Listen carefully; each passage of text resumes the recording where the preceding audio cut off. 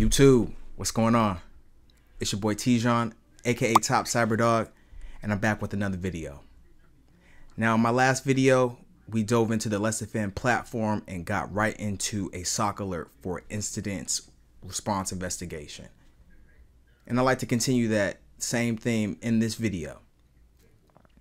We're to hop into the battle station, pick out an alert, and see what we can find.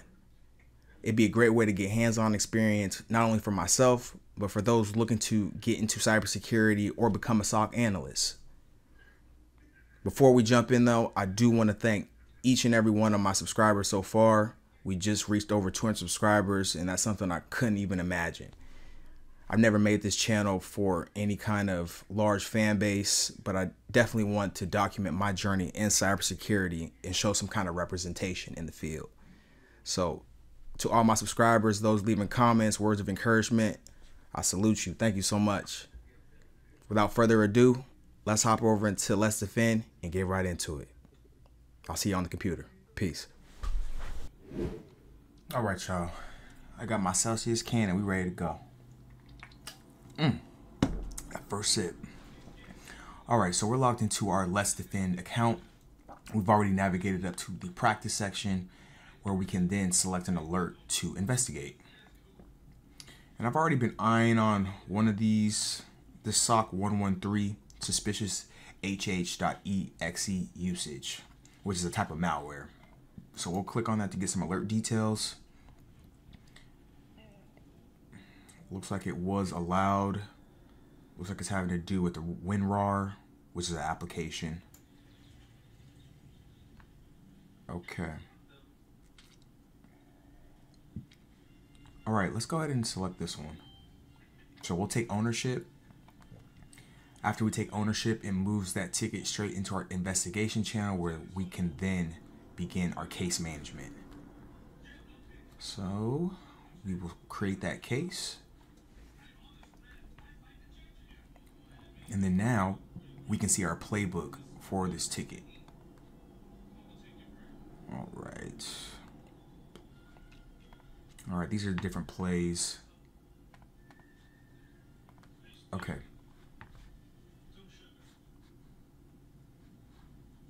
So in the meantime, let's do some investigating on the alert details that we already have.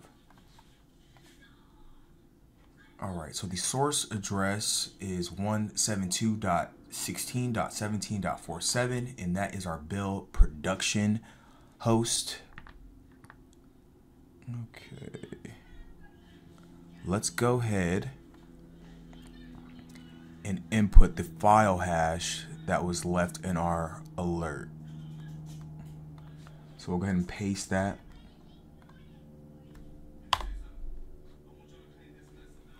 And we can see VirusTotal has deemed this non-malicious and it is labeled as winrar.chm. Okay. I know what WinRAR is, but I don't know what .chm is. So let's go ahead, copy that, take it over to Google, and see what the hell this is.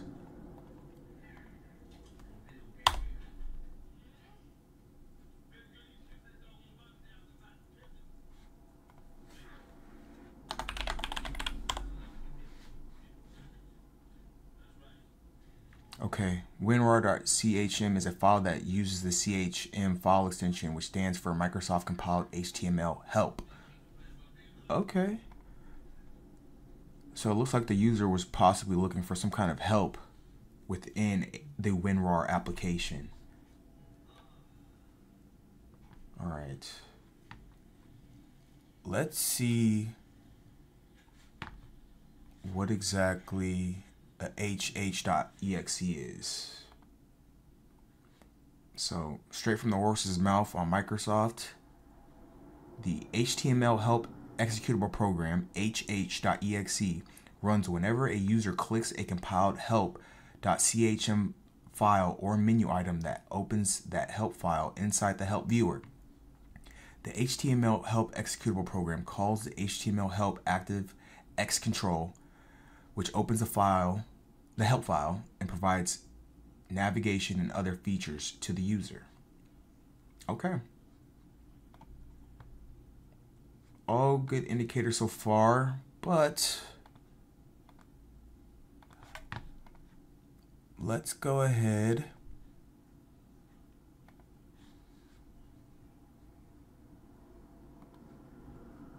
We can see that a file um, was attached to this alert. What I want to do is run a search on that file path. So we'll go ahead and plug that into hybrid analysis and do a check on that file. So we'll go ahead and select the parameters for our virtual environment in which we will open up and test this file. Windows 10 should be fine. Okay, so already hybrid analysis has come back with this zip file being whitelisted. We'll update it. As you can see right here, updated one month ago, click to refresh. I always like to refresh to see if anything has changed. It will do its thing over here in the antivirus results, and it is clean. Okay. Coming down here to the relations, we can see the file inside of the zip and we can see that it is the winrar.chm which is whitelisted. Let's go ahead and click that. And we'll refresh that as well. And this has been whitelisted as well. So I don't think this was malicious so far. Um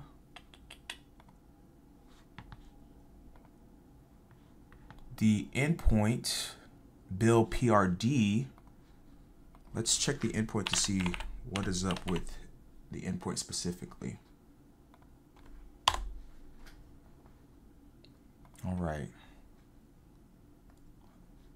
So bill PRD with the IP address of 172.16.17.47 is currently running Windows 10 and the primary user is Bill01. Okay and already off the bat we can see in the processes section the hh.exe has run on the machine.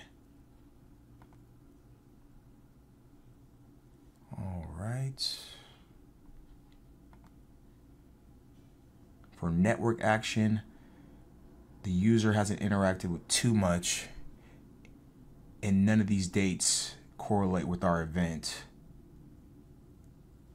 Okay we can see from the terminal history that the user ran a command regarding the hh.exe from WinRAR. Okay. I honestly truly believe that the user was just seeking documentation for help reasons within WinRAR. Okay. Log management. Did that. Let's go ahead and go back to our playbook and run through the plays. All right select the threat indicator. Unknown or unexpected outgoing internet traffic. No. Antivirus programs malfunctioning or becoming disabled for unknown reasons. No. Unknown or unexpected services and applications configured to launch automatically on system boot not exactly for this alert. So the best option is other. We'll hit next. Check if the malware is quarantined slash cleaned. According to our alert, the device action has listed this as allowed, meaning it was not quarantined. All right, so not quarantined. Analyze malware is the next play. Analyze malware in a third party tool to find C2 addresses. You can use free products and services below. So we utilized hybrid analysis and VirusTotal. According to hybrid analysis, it's not malicious, it's been whitelisted. We checked VirusTotal uh, for the file hash and it was not deemed malicious. What we didn't check in VirusTotal is the zip file. I'm just curious. Let's run a search on that. Ah. So VirusTotal has deemed this as malicious. Okay, but that doesn't necessarily mean that it truly is malicious. Well, that is good to note that VirusTotal has deemed it malicious. Okay. I still believe it's non-malicious. Based off of what we've seen, the documentation from Microsoft and WinRAR, do not believe this is malicious. So we're going to select non-malicious. And then we are going to input our details. And like I mentioned in my previous investigation, I like to keep all my alert details in a Word document to the side where I can just easily plug and uh, play those data points into my investigation. All right, WinRAR file hash.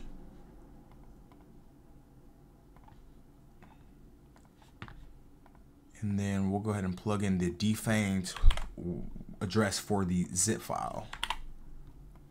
You see right there.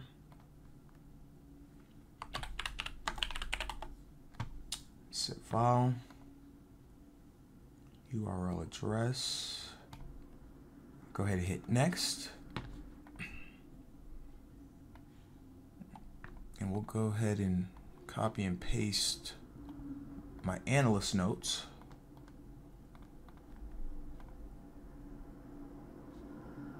All right. So here's a breakdown of my notes and what I found and recommend for the next steps for this endpoint. So we'll go ahead and hit next, confirm. Our playbook has finished. Once we have confirmed that, um, that brings us back to our investigation channel where we can then begin the process of closing the alert. All right. And we'll select false positive. And for my closed alert notes, excuse me, I just like to copy and paste the analyst notes as well. Go ahead and hit close alert and see what our SOC spits back at us. Booyah. The confetti has dropped and we have a successful investigation. Our alert has moved to closed alerts and we can see the details from our investigation. Um, and then we can see our playbook answers that we have got those right and that this is a false positive. The WinRAR application wasn't anything malicious and it, the user was just trying to seek out some kind of help info for that program. All right, so that was a quick investigation. Severity was low, but every ticket has to get looked at and investigated. So we knocked that one out. The streak still continues at 163 days. Thank you guys for sticking along with me during this investigation. Be sure to like, comment, and subscribe. And I'll catch you on the next one. Peace.